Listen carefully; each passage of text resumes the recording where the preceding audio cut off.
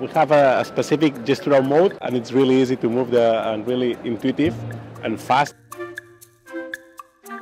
The user could guide really, really easy with just two fingers the, the robotic arms.